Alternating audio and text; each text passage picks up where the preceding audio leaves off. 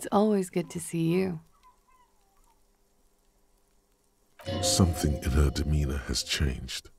She's tired, consigned to her fate, to being here with you and what's to come.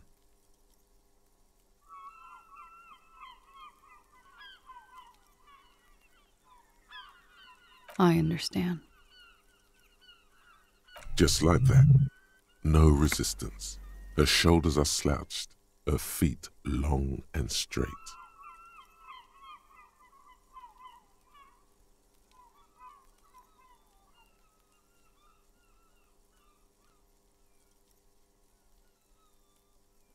I know. For what it's worth, I'm sorry. For all of this, for wasting your time. This is good. Clear the air first, between you two, then move on to questions. Is it? Something is off here. Shush, I can't hear what she's saying. Why did you waste our time then? Because of the Hardies. I couldn't just dispense with them. They were only trying to help me. Out of the shit I'd gotten into. Is she implying the Hardie Boys are the law?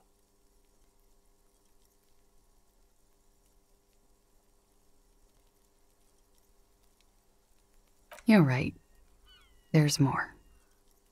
You answer to the coalition government, and by extension, the Moralintern. Briefly glancing over her shoulder to the sea, as she's done time and time again.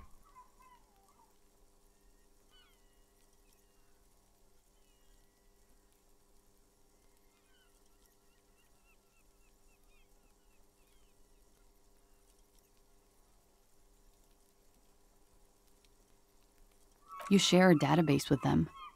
You send people to their courts. Just business, but bad business for some people in the Moralintern.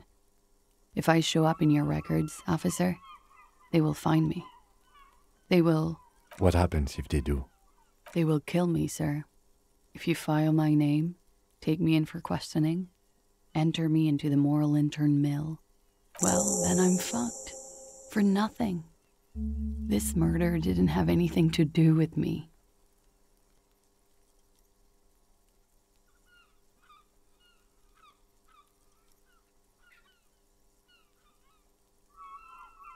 It's not nice, but it's not illegal.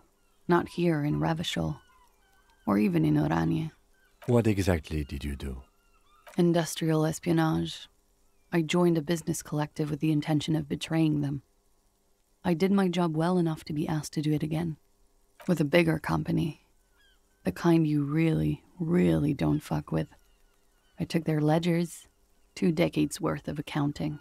I need the names of the companies involved and who hired you. The job was Lou's doing County Savings Bank. They sound small, but they're part of the Lou Scott conglomerate. That was the second job. The first was some printer company. You wouldn't know them. But she really destroyed them. She still feels it. As to who hired me for the job, I don't know. But they're after me too, along with Lou Scott and their friends in the MI. Once you're done in the competitive intelligence circuit, you don't have allies. You're radioactive.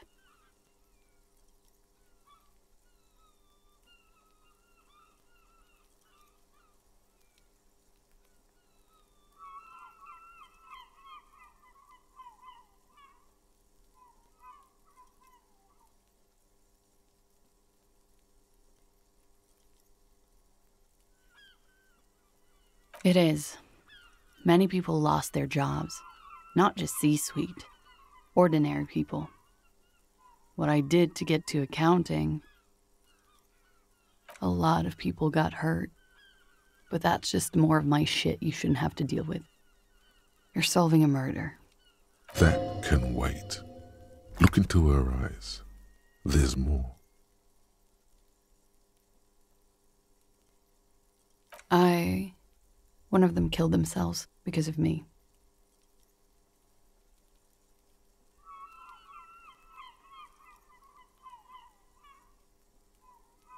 How do you deal with anything? It's all just. How do you do it?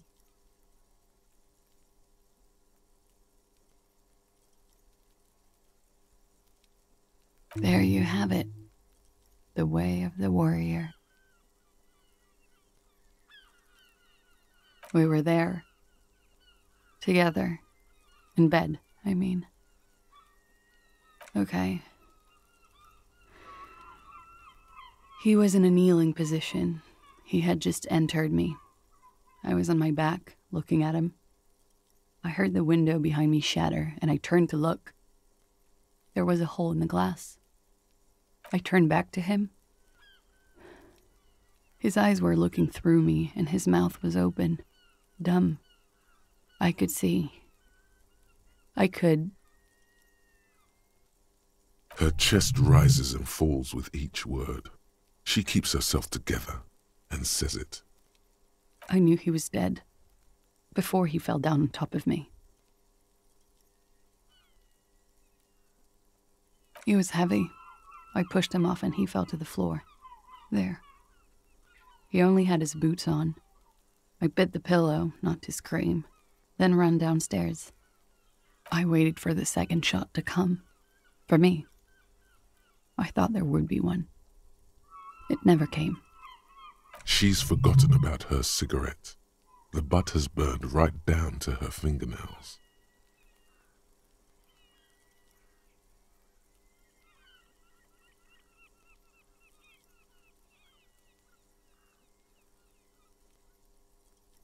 Oh.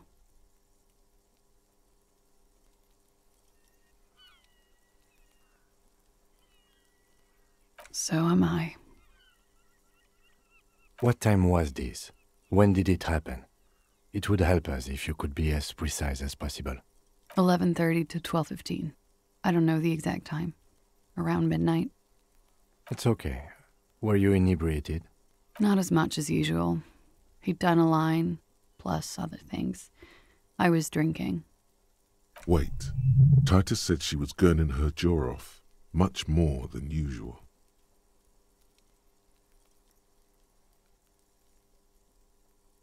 Oh, yeah.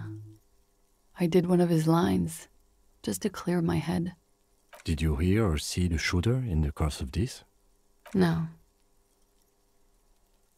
Nothing. I was trapped. I was stuck in my room downstairs. I got some clothes on and crawled back up, drew the blinds. Blood was coming from his mouth. Not a lot, just a little. He was still on the floor, slouched. I couldn't be there with him anymore. So I ran down and out of my room, into the hallway, down the stairs. I knew there would be people there. Run, woman. Run past them and out into the streets where it's dark and people move. To the lorries at the intersection. As far as you can.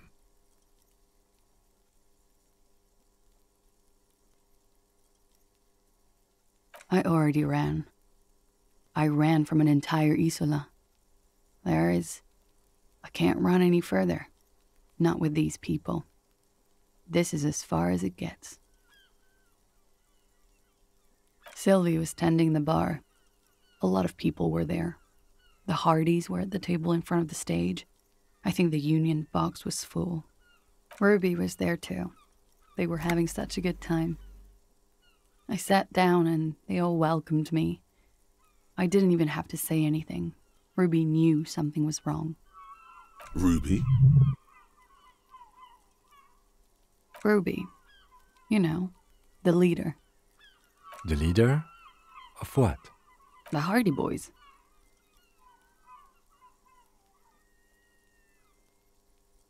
Well, nominally, yes.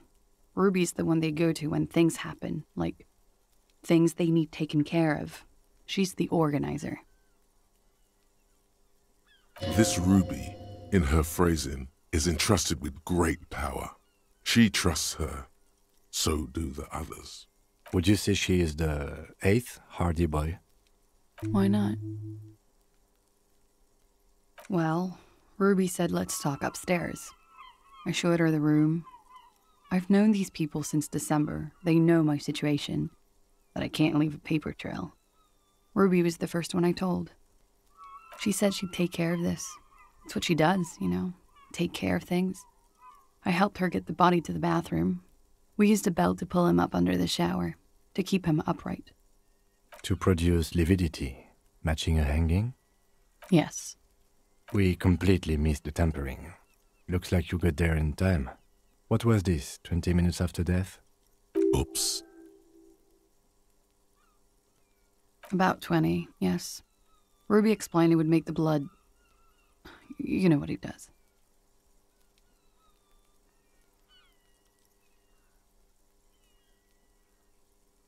Ruby went outside to talk to Titus and the boys. I was just looking at Lely in the bathroom. I had to put his clothes back on, his armor too. It was tough, but I've seen him take it off and put it on many times. It took Ruby maybe half an hour to come back with Titus. I'd gotten him ready by then. They carried him out. I knew what they were going to do make it look like a hanging. Ruby said they would. Ruby said to wait here.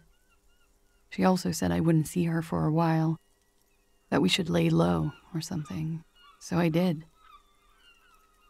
I don't know. I haven't seen her since. We will need to take this question to the Hardie Boys. Interesting. Why did this Ruby go through so much trouble to hide something someone else did? Look into this later. When he was shot? I may have. I don't know. I couldn't hear anything over the glass exploding.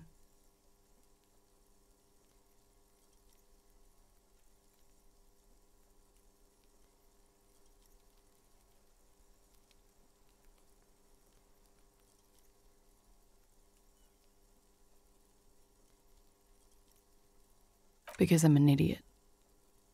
Which is an indicator of truth. Idiot. She's nothing of the sort. You have to understand the people around here. No one was making the call, and he kept rotting. And then they picked his clothes off, and that little fucker threw stones at him. Her jaw is clenched. Her throat moves. It takes all her strength not to cave in and sob. Once. Just one time. He kept throwing stones at him for three days. I could hear the thud, thud. So I called you. I hope with all my heart it's not the last thing I do in Revachol. She definitely called the cops. That was task complete. It could not have been a lie. That is impossible.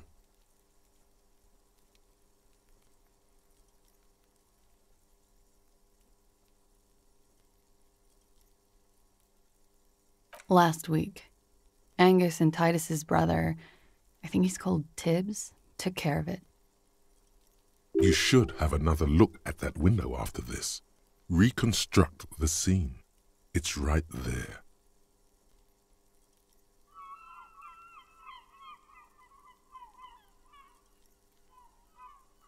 Yes, you see the glass sparkling out of the corner of your eye.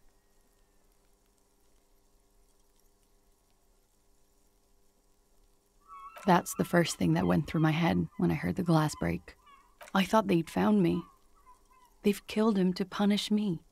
All last week, I've tried not to talk to anyone or be seen with anyone so they wouldn't be hurt. I've come to understand, however, this is paranoia. What happened didn't have anything to do with me. We can't go after Loose Cap. Not yet. There are other saner leads. I don't ask you to, Lieutenant. If there's one thing I know, it's that you'll get nothing from there.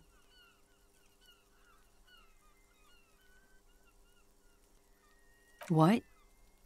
Why would I put myself through this? Insanity.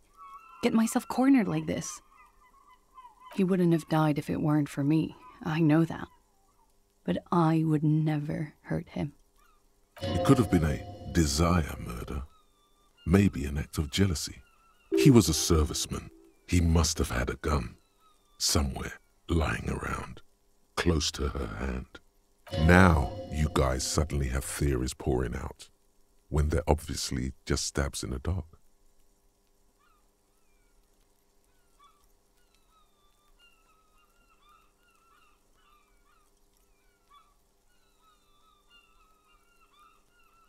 Like what?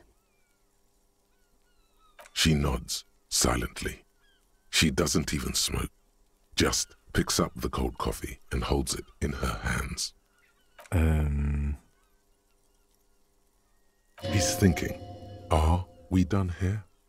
Or maybe you should take her to the station for safekeeping. She lied to you, and she's a flight risk. No, that won't be necessary.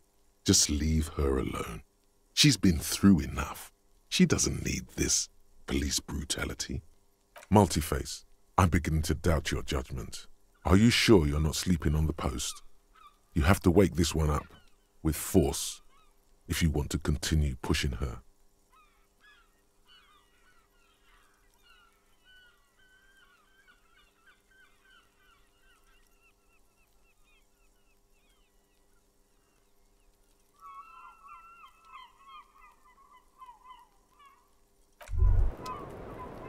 As you look back, you think, so love did do him in, after all. If it weren't for her, he would not have been there. The shot would not have connected with his soft plate. She's silent, holding on to her coffee mug. No vapor rises from it. It's cold. Remember this silence. The lady is dangerous. People suffer around her. Yeah. I'd like to think he didn't love me, or that it was chemically induced and not real. Easier that way.